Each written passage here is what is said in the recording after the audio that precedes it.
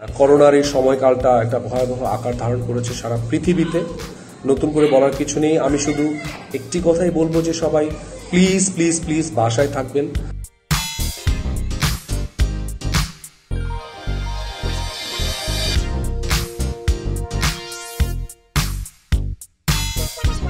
প্রায় এক মাস ধরে চব্বিশ ঘণ্টা আমি বাসায় থাকছি, বাসার বাইরে একদমই যাচ্ছি না। আর সবচেয়ে বড় কথা হচ্ছে আমার ঘুমের রুটিনটা চেঞ্জ হয়ে যাচ্ছে। আমি চব্বিশ ঘণ্টার মধ্যে যে কোনো একটা সময় ঘুমাই। সেটা দিনে হতে পারে, রাতে হতে পারে। সো ঘুমের আমার টাইম টেবিল একদম উল্টাপাল্টা হয়ে গেছে। প্রচুর নিউজ দেখা হচ্ছে। টেলিভিশনে নিউজ দেখার চেষ্টা করছি যে করোনা রোগীর আক্রান্তের সংখ্যা কত কি হচ্ছে, না হচ্ছে, এগুলো আপডেট জানার চেষ্টা করছি।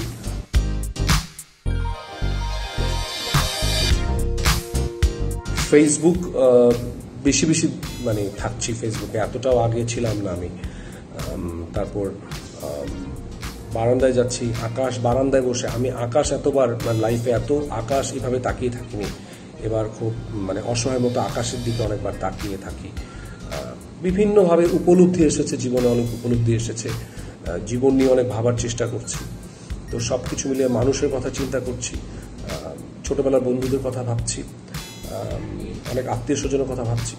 বিভিন্নভাবে আমার চেঞ্জগুলো এসেছে এই করোনা সময়কালীন সময়ে। হাত সাবান দিয়ে অনেকবার ধুচ্ছি, যখনই প্রয়োজন মনে করছি ধুয়ে ফেলছি।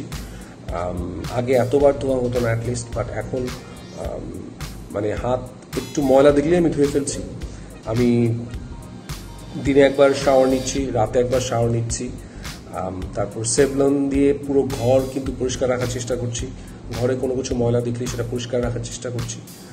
আর ফ্যামিলিকে যেভাবে সময় মানে হেল্প করার চেষ্টা করছি বা সাপোর্ট দেওয়ার চেষ্টা করছি, সেটা হচ্ছে যে করোনার সময়টাতে যেহেতু কাজের লোককে বিদায় দেওয়া হয়েছে সো ফ্যামিলিকে সব কাজেই সাপোর্ট দেওয়ার চেষ্টা করছি।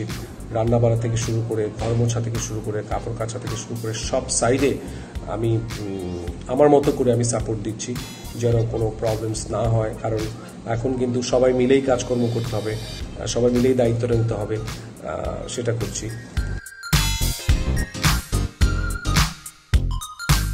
বেশ কিছু ভালো অভ্যাস হয়েছে আমার। আমি এখন পাঁচ নামাজ পড়ছি, কোরআন তেলাওয়াত করছি তারপর এক্সারসাইজ তো আগে জিমে যেয়ে করতাম, এখন বাসায় বসে কীভাবে এক্সারসাইজ করা যায় সেটাও কিন্তু শিখে গেছি। বাসায় এক্সারসাইজ হচ্ছে খুব পুরোদমে। তারপর টেলিভিশন দেখছি মুভি দেখছি, বই পড়ছি প্রচুর পরিমাণে তারপর ক্রিকেট খেলছি বাসায় বাসায় ক্রিকেট খেলছি প্রায় প্রতিদিন ক্রিকেট খেলছি। বাসার মানুষের সাথে গল্প করছি, বিভিন্ন বিষয় আশয় নিয়ে। ফ্যামিলিকে আমার মনে হয় যে প্রচুর কোয়ালিটি টাইম কাটছে, তাদের বিষয়গুলো জানার চেষ্টা করছি, তারা আমার বিষয়গুলো জানার চেষ্টা করছে, নানা ধরনের গল্প গুজব হচ্ছে। এভাবেই সময় কাটছে আমার।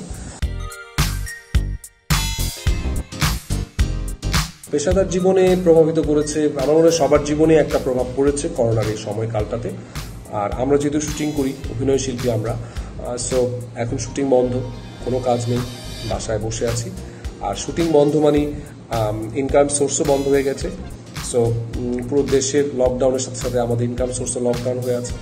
সো এক্ষেত্রে কিন্তু আমাদের বেশ একটা বড় প্রভাব পড়েছে আমাদের সব, সবার ক্ষেত্রেই আর কি।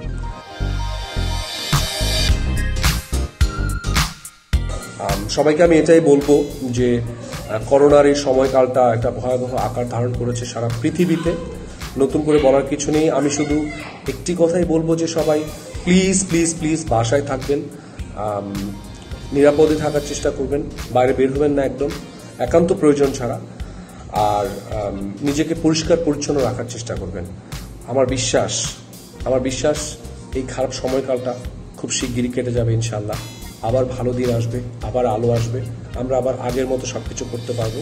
সো সেই সময়টা পর্যন্ত আমাদের একটু ধৈর্য ধরতে হবে, বাসায় থাকতে হবে। আর শেষমেশ একটি কথাই বলব, যাদের একটু সামর্থ্য আছে, তারা আমাদের কাছের বন্ধু বান্ধব আত্মীয় স্বজন, যারা লজ্জায় মুখ ফুটে চাইতে পারবে না কখনো দিন, তাদেরকে আমরা একটা সারপ্রাইজ দিই। তাদেরকে কিছু না বলে, কিছু না জিজ্ঞেস করে তাদেরকে কিছু দিয়ে আসি। তাদের পাশে থাকার চেষ্টা করি, যেন তারা আমাদের মতো করে একটু খেতে পারে, একটু হাসতে পারে। ধন্যবাদ সবাইকে। ভালো থাকবেন, সুস্থ থাকবেন এবং অবশ্য অবশ্যই বাসায় থাকবেন। Take care